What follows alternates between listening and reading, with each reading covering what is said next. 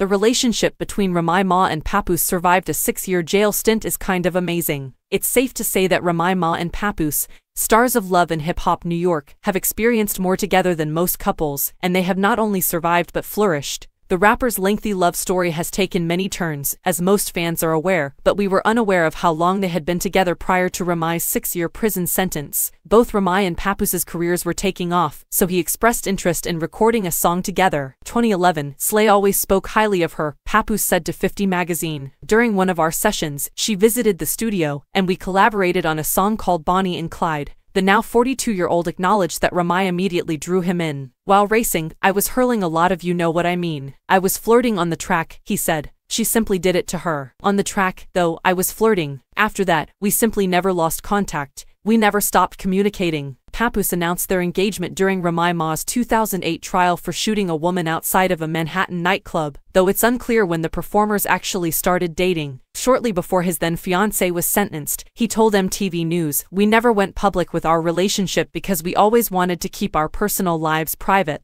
Yes, on April 27th, we were supposed to get married on a yacht. However, due to uncontrollable circumstances, we are currently arranging to get married while incarcerated. The couple's intention to get married while Remy was incarcerated was derailed by reports that Papoose attempted to bring in a skeleton key that could be used to unlock handcuffs. According to reports, he was prohibited from entering the jail for six months later, there was an informal phone ceremony.